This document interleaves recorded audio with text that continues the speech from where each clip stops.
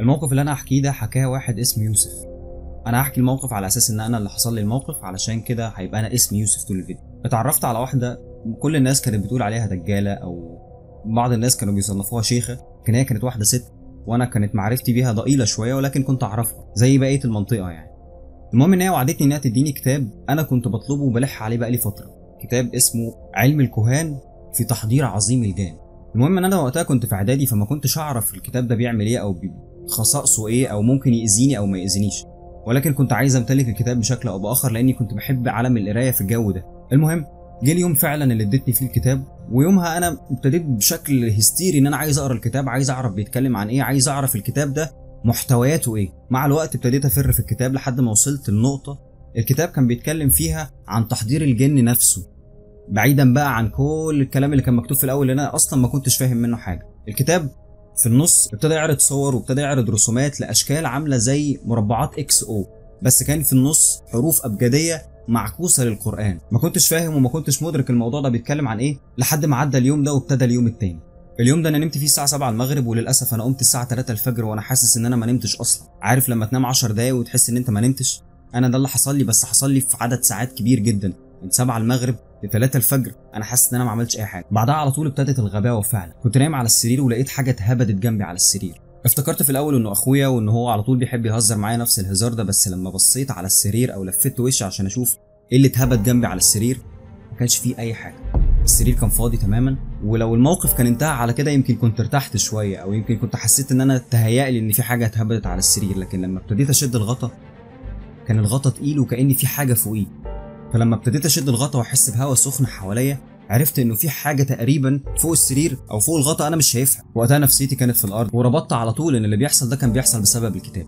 اليوم اللي بعده ما حصلش أي حاجة لكن اليوم اللي بعده كنت قاعد في أوضتي وأنا اوضتي كانت مفتوحة على الصالة فأنا شايف إيه اللي بيحصل في الصالة؟ كان أخويا قاعد في الصالة بيتنطط على الكنبة بتاعه الصالون. فكنت عمال أزعق له أو أعلي صوتي علشان ما يعملش كده خايف عليه إن هو ممكن يقع. بس لما ابتديت أزعق وصوتي يعلى لف وشه 180 درجة. أخويا كان وشه حرفيا عند قفاه. أنا كنت قاعد في الأوضة بموت من الخوف. حرفيا أنا ما كنتش قادر أتلم على نفسي. اليوم اللي بعد كده كنت نازل فنسيت الموبايل بتاعي في الأوضة فندهت أخويا مصطفى الصغير علشان يدخل يجيب لي التليفون من جوه. المهم إن هو دخل وقعد غاب حوالي 3 4 دقايق وده ما كانش المفروض يحصل الأوضة قريبة جدا من باب الشقة. ما عدتش لحظات وابتديت أسمع صراخ هستيري. أخويا مصطفى كان بيصرخ بهستيريا فعلا. قلعت ال shoes بسرعة ودخلت أجري على الأوضة جوه لقيته واقف متسمر في مكانه وعمال يعيط بشكل هستيري. مسكته قلت له في إيه يا ابني؟ إيه اللي بيحصل؟ لقيته بيقول لي وهو بيعيط ومنهار إنه شاف واحد قاعد على السرير بنفس هيئتي اللي بقعد فيها قاعد رافع رجل ومنزل رجل ورافع إيده وراه بنفس القعدة بالظبط اللي أنا بقعدها على السرير. وكان وشه كله دم. مصطفى أخويا الصغير عنده تسع سنين فإن هو يحكي حاجة زي دي ما كانتش سهلة ابدا أو حاجة ممكن عقله يصورها. بعدها على طول ابتدت رواية من روايات أبويا إن هو يقول لي على فكرة اوضتك فيها مشكلة أو على فكرة اوضتك أنا ما بحبهاش. كان دايما بيقولها بهزار لكن ما أعرفش إنه كان بيقولها بجد وهو من جواه حاسس إن في حاجة غريبة في الأوضة. لدرجة إني كنت ساعات بنزل أخرج مع أصحابي وأرجع ألاقيه قافل باب الأوضة فلما أسأله أنت بتعمل كده ليه؟ يقول لي أنا ما بحبش باب اوضتك يبقى مفتوح. وفي يوم جالنا واحد صاحب بابا يقعد معانا في البيت. فطول قعدتنا وإحنا قاعدين في البيت الراجل صاحب بابا قاعد على كنبة في وش الأوضة بتاعتي.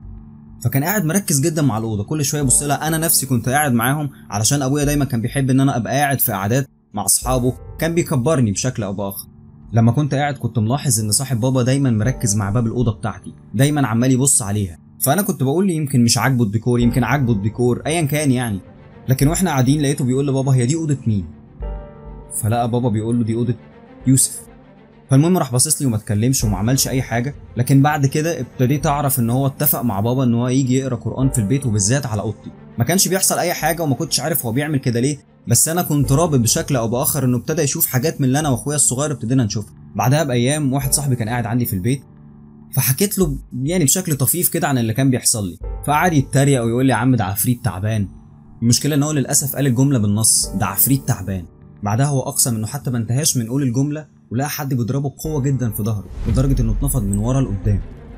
صاحبي بعدها ساب البيت وروح وقعد يحكي لي إن هو كان النور قاطع عنده فترة طويلة جدا وطول ما النور قاطع هو بيقول لي أنا عمال أتخيل حاجات وأشوف حاجات. جايز عقله تخيل ده جايز هو شاف ده بسبب اللي حصل عندي في البيت. لكن أنا إلى الآن أوضتي محدش بيدخلها. أخويا بطل يدخل أوضتي أبويا بطل يدخل أوضتي. أوضتي بقت مقفولة طول ما أنا مش موجود في البيت وبقى بشكل أو بآخر أوضة يوسف بقى فيها حاجة إحنا مش عارفينها. وإلى الآن ما انتهتش لاني إلى الآن بحس إن في حد قاعد معايا في الأوضة بحس إن أخويا لما بيحاول يدخل الأوضة بيخاف وبيقول لي إن هو خايف يدخل الأوضة خايف من الشكل اللي شافه على سريري من فترة وخايف من المنظر اللي شافه ده إنه يتكرر تاني. وإلى الآن تجربتي مع كتاب علم الكهان في تحضير عظيم الجان ما كانتش تجربة سهلة ابدا.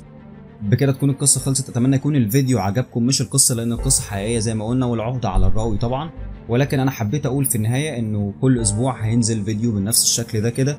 ابعتوا لنا قصص حقيقية حصلت لكم ابعتوا لنا مواقف علشان نقدر نوثقها بفيديو ونقول للناس ونوعي الناس إنه مش بس الكتب بيبقى فيه وراها مشاكل. في الحلقات اللي جاية هبين لكم إن مش بس الكتب اللي بيجي وراها مشاكل حاجات تانية إحنا بنعملها تقريبا كل يوم وبيحصل من وراها مشاكل.